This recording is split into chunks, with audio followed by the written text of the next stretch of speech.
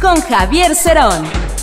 Bueno, el movimiento obrero pidió a los empresarios que sean cautelosos en el incremento de precios porque se está dando de una manera silenciosa y eso afecta a la población en general. En este sentido, pues la vigencia del pacto que se firmó debe ser una realidad y sobre todo pues evitar las alzas de precios que viene a pisar más a la inconformidad de la gente. Es en este sentido como las diversas organizaciones sindicales pues hacen un llamado a todo el sector empresarial, comerciantes, industriales para que no repercutan los precios de la gasolina de manera inmediata y sobre todo se afecta la economía familiar, ya que el salario pues alcanza cada vez menos para adquirir los productos de la canasta básica. Si todos se van a apretar el cinturón, pues deben ser empresarios, trabajadores y el propio gobierno. Y si bien las medidas alternas que se dieron están por cumplirse, pues esperan que esto realmente sea un impacto en la economía nacional y en este sentido la unidad sea a todos los niveles. De lo contrario, pues si se dan aumentos silenciosos que repercutan en el bolsillo de los trabajadores, lo único que se puede esperar es inconformidad.